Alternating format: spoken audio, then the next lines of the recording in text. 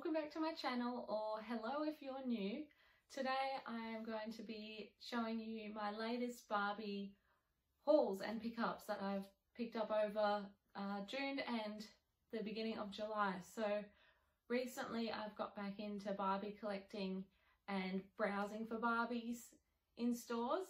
For a long time I sort of felt that Barbies had changed from what I remembered them as and from how I liked them and the things that I liked about them. But recently I found that there's been a few Barbies that are really cool and um, pretty and I think kids would really like them these days and you know they've appealed to me again so I'm addicted to collecting and I've bought heaps over a short amount of time and I think it's something that I'm going to keep doing for a little bit as well because I've really enjoyed getting back into it and seeing what Barbies are out there so I will show you what I've picked up. So the first Barbies that I picked up were from the Barbie Colour Reveal range. So in Australia we never got the series one of them. So we've only got the series that's the, I think it's sweet and savoury. It's got a picture of a popcorn and then a popsicle. So we got those ones and they were very hard to get here. So I looked around lots of different stores and areas and that sort of thing. And I eventually found them in Toymate, which is sort of what replaced Toys R Us here and I grabbed two at the time. So I was lucky enough that both of the ones that I did were different, so I didn't get the same one, which I was a bit worried about. So I made a video showing the process of the colour reveals and how I do them. So I'll just show you the ones that I actually got. So the first one I got is the, the pizza girl from the colour reveal. So she has the blonde and blue hair and a pizza skirt and a moulded top that has the pizza slice on it and then she's got gold boots which are really cool. These Barbies are the, the sort of hollow type that seem to be the new norm for Barbie. When I grew up they were the more malleable plastic type ones but she's nice. I think it was practical to have the molded shirt to make it easier for the colour reveals and also when you take off her hair she has molded hair underneath. Oops. Gosh. There we go. And they develop streaks as well when you let them dry. You can put a bit of cold water on them and that happens. So the second colour reveal that I got was the Popsicle Girl. So I thought it was cool that I actually got um, a savoury and a sweet out of the two that I got. Her hair's a little bit longer and it's pink and green. Her outfit has a popsicle with a smiley face on it and a normal popsicle and then her skirt is white with all different popsicles on it. And then she's got bright pink shoes, which are really cute. I'm really enjoying the new types of shoes that Barbie have put out. They come off really easily and they're really cool and quite stylish as well. Um, with this one, I find her wig looks a little bit weird on her head. It's a little bit bulky, doesn't sit as well as the other one, but I think it's a cool idea. I like that they have Barbies with wigs. I think it's a little bit of a throwback to the early Barbies in the 60s where you could get wigs and you could change them up. Same with the other one. This one has molded hair, which is white with pink streaks, which is cool. I really like this one. I also like that similar to the Fashionistas and those type of Barbies, they have them looking a little bit different. So I think this is meant to be just like the original Barbie. And then this one here, as you can see, she's a little bit uh, lighter skin. She's got green eyes and they look different when you put them side to side, which I think is pretty cool. So my thoughts on the colour reveals, I really like them. They're fun. It's something different to Barbie and I think it's made Barbie's a little bit more popular again, which is what they needed. So the next Barbie that I got is from the Barbie I Can Be range. And I'd seen a lot of people talking about her and I really wanted her for myself. So I got the Pop Star Barbie. What drew me to her was actually her purple hair because the Barbies that I knew and I grew up with were just the plain hairs, like brown and blonde and black and that sort of thing. But I thought the purple was really cool. She's also a little bit tan with brown eyes and she's got a really cool outfit. So it's a really sparkly top and then a like holographic skirt and she's got these cool purple shoes that match her hair. I like her pose and I like that she's uh, looking off to the distance so she looks a little bit different. She also came with a microphone stand and the microphone actually also comes off So she can, you can pose her with the microphone, you can put the microphone in her hand, you can do a variety of different things with her. So I really am happy with this one.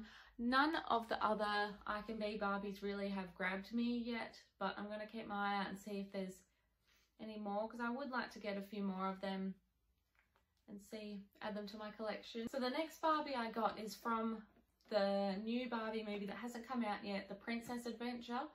So I never got any of the Barbies from the movies, which is something I sort of regret now that I'm a bit older. So I managed to get this, this Barbie and she was a great price, $15 Australian from Kmart, which I thought was great. What I like about her is a few of the newer Barbies have molded tops, especially I've heard some of the movie Barbies have that. So this one actually has separate clothes and I like that she has a little fluffy jacket and her tiara.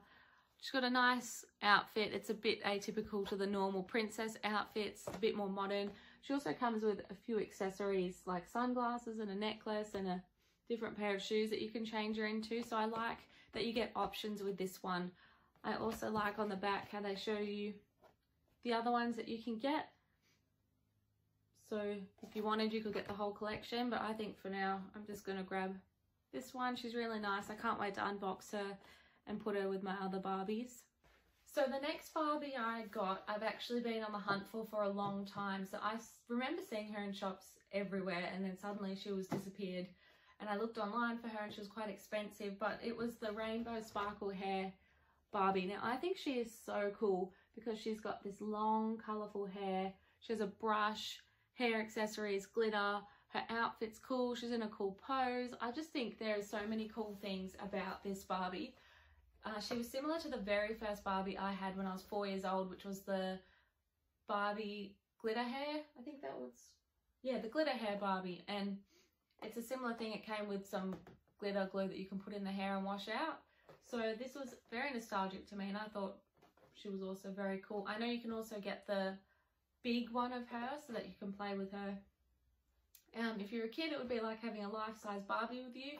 On the back, it also shows all the different ways that you could style her hair and cool ideas and how to use the glitter and that sort of thing. But I'm really happy with her. I'm really glad that I eventually got my hands on her and didn't have to pay for too much. So I'm really happy to have this one in my collection and I can't wait to get her out of the box and comb her hair and play with her because she's really beautiful and a really special Barbie.